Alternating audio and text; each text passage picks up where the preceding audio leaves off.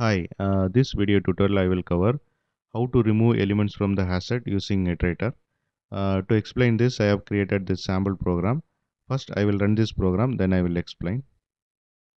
Uh, this is the output of uh, this sample program. Inside main method, I am creating hash set. In hash set, I am adding uh, five string objects, then displaying the hash set content. Here you can see the hash set output. Uh, then I am calling iterator method of hash set uh, it will return iterator object. Once I get the iterator, then uh, I am moving the cursor in uh, forward direction and uh, removing the elements uh, one by one. Okay. And after this while loop, I am uh, displaying the set content. You can see set is empty now because iterator remove method has been removed element one by one in this loop. Okay.